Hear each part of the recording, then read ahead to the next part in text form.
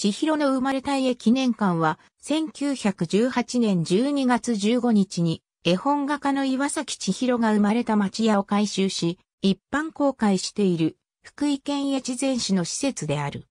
岩崎千尋の母の岩崎文江は、奈良女子高等師範学校を1913年に卒業し、福井県南城郡竹尾町の竹尾町立竹尾実家高等女学校に赴任した。1918年3月に陸軍の建築技師の倉科正勝と結婚後、単身赴任で竹尾にて勤務を続けていたが、5月に解任が判明、10月に出産準備として学校近くの商家の離れを借り、雪の降る12月15日朝に千尋を出産した。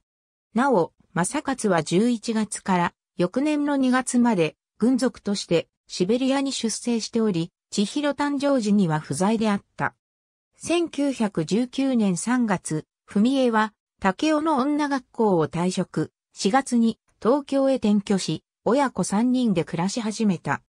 このように、千尋は誕生地に100日余りしか滞在しておらず、長い間、その場所が不明であったが、地元高校教諭の調査により、先の商家であることが判明した。